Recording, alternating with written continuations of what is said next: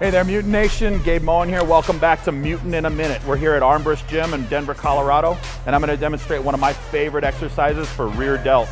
I just call it a rear delt fly or a rear delt raise. And um, the key to this one right here for me is, is trying to get parallel to the ground, okay? So the only way to do that and protect your back at the same time is to have some kind of a support system. And I use my forehead on the edge of a bench, okay? So what I'm going to do is I'm going to face ass in the camera. Like so, all right? So just enough pressure on your head to where you don't have to worry about your low back. Let your arms come to a dead hang in the bottom. That's gonna be your starting point and try to draw a, straight, a straight line outwards. Okay, and back down. Don't draw back. So I'm gonna show you the improper. The improper or the wrong way is to draw back.